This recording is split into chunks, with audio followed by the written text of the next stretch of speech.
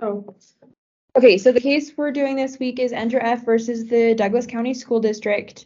Um, a little overview before we do a deep dive into the case. So Endrew F. was a boy diagnosed with autism. He was in a public school um, up to the fourth grade in the Douglas County School District.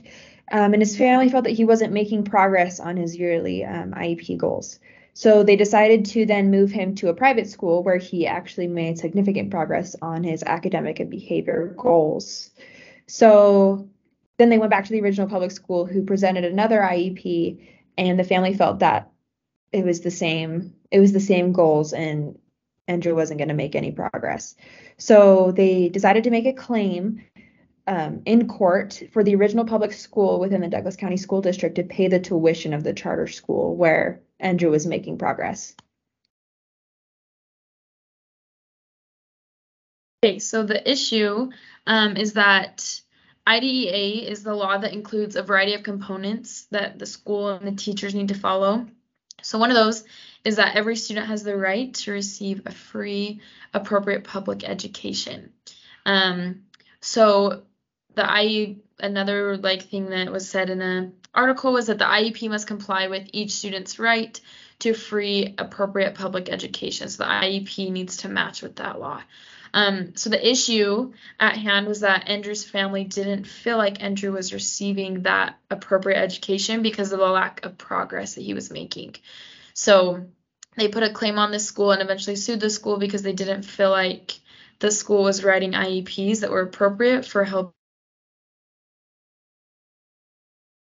following the law under IDEA.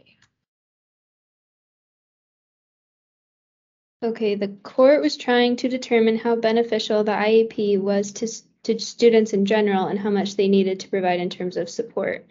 Um, the court clarified that all students, including those at grade level, are qualified to receive an IEP that is reasonably calculated to enable a child to make progress appropriate in the light of child's circumstances. The court additionally emphasized the requirement that every child should have the chance to meet challenging objectives and not just the minimum requirements. So looking at just the the deeper facts of this case, so Endrew F was enrolled in the fourth grade at the Douglas County School District. Um, his family went to his yearly IEP meeting, determined that he wasn't making progress and he hadn't been for quite a while. So they were they were pretty frustrated and they felt like they weren't being heard and they felt like the goals being set were the same every year. And under the IDEA law, it says if parents feel that their children's schools are not providing a free and appropriate public education, um, parents may enroll their children in private school and seek tuition reimbursement from their school district. So they decided to do just that. They enrolled him in a private school under this premise. Um, they felt that the school used methods that allowed Endrew to make more progress academically. They were doing things that the public school just wasn't doing, and it, was working.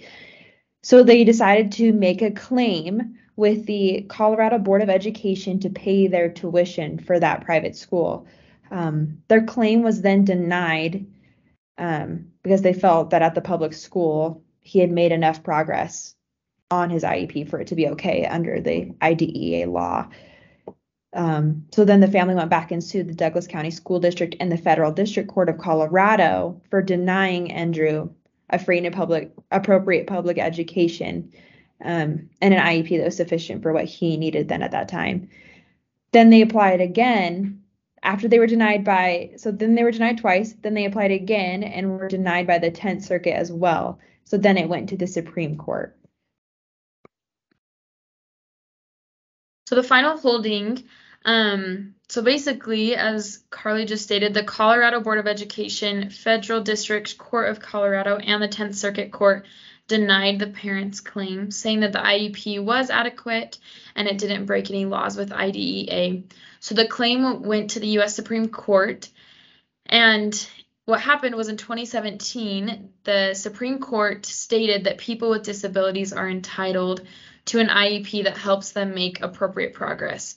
So the case went back to the lower court and they decided that the district did owe the family money for both tuition and now all the legal costs that they had to go through. So the district ended up paying the family $1.32 million. Okay, so the court's rationale, Abby mentioned it, but the court ruled that under the Individuals with Disabilities Education Act, the IDEA, public school students with disabilities are entitled to greater benefits than some lower courts had previously determined. So this quote is basically saying that um, the IDEA and FAPE, where it's morely mostly focusing on the appropriate education and that we're required to give students um, goals that are going to be more challenging for them than things that are just too easy for them or that they will like never accomplish.